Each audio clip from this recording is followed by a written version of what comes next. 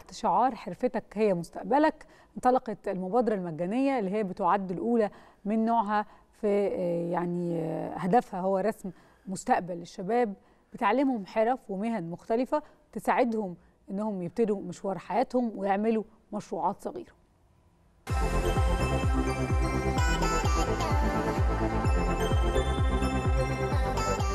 أنا محمود صبحي مؤسس ومنسق عام مبادره حرفتك مستقبلك.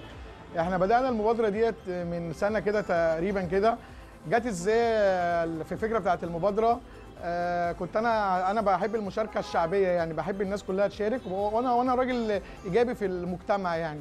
فأنا بقعد مع الشباب كتير يعني وبسألهم برضو الخريجين أو اللي لسه بيدرسوا كده. طب ممكن تتعلم حرفة أو صنعة مثلا تفيدك مع دراستك أو لو انت خريج ولا حاجة. قال لي آه أنا أنا جربت أروح حاجة زي كده في أكاديميات بس كان بيبقى المبلغ بتاع الدورات عالي قوي عليا وما بستفادش منها كتير. يعني بدفع مبلغ كبير وما بستفادش منها منها كتير. من هنا جت الفكرة إن طبعا شاب في في مبتدأ حياته يعني ولو عاوز لو حابب يتعلم إزاي يدفع مبلغ زي كده. فجت الفكرة اللي إحنا نعمل المبادرة مجانا تماما يعني. قلت أبدأ أنا فرحت منزل على الصفحة بتاعتي وبقيت أقول للناس القريبين مني أنا عاوز أعمل اللي عاوز يتعلم الحلاقة مجانا تماما يعني وكده. فجالي عدد كبير حوالي مثلا 10 15 واحد عاوزين يتعلموا. طبعا صعب عليا اللي أنا في المحل عندي اللي أنا أجيبهم بقى طبعا اللي أنا أعلمهم الحلاقة وكده هياخدوا المحل كله. فمحتاجين مكان. آه رحت كذا مكان يعني عشان أطلب منهم مكان ناس يساعدونا يعني جهات وكده عشان آخد منهم قاعة ولا حاجة. الموضوع برضو بيبقى صعب شوية. يعني إيه ممكن كله بيقول لك إيه طب إحنا مش عارفين الفكرة طب مش طب انجح وتعالى بقى. لما تنجح بقى نبقى نشوفه ونقدر بقى نساعدك إزاي. بس إيه انجح الأول وتعالى لنا. يعني ده اللي فهمته يعني. ما حدش قال لي كده صراحة بس ده هو ده اللي فهمته.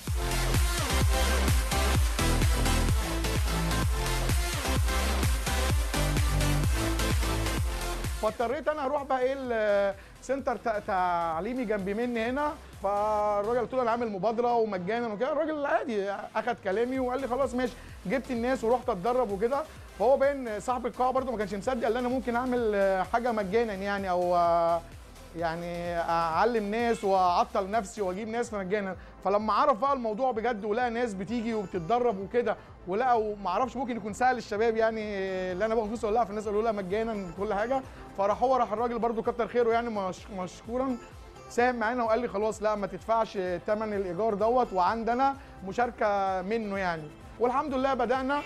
جالي بقى يعني كل الحرف بقى. يعني بصراحة جنبي كان قدامي المهندس محمود الموتال في الالموتال قال لي أنا عاوز أي حد عاوز برده يتدرب معانا.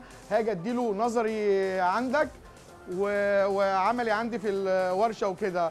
وصيانة موبايل كذا حاجة يعني. الحمد لله رب العالمين اتفقوا معانا. وكان في برضه صاحبي برضه أستاذ هاني برضه مدرس صنايع وعنده ورشة نجارة. قال لي برضه أنا هشارك برضه في ورشة النجارة اعلم الشباب والرسم على الخشب يعني.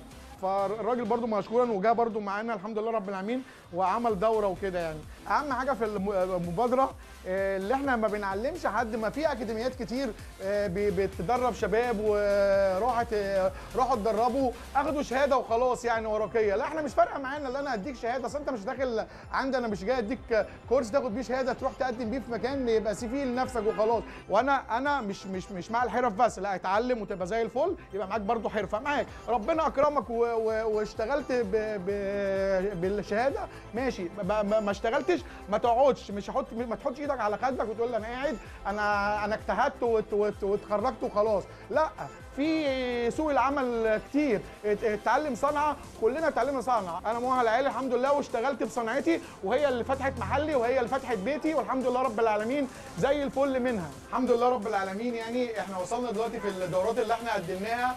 10 دورات مثلا كل دورة ب 10 أفراد يعني وصلنا ل 100 بس المستهدف اللي نفسي أنا أحققه مثلا أوصل يعني في استهدافنا كلنا في المبادرة ان نوصل ل 5000 أو 10000 شاب وفتاه أنا عاوز أقضي على البطاله على الأقل في محافظتي.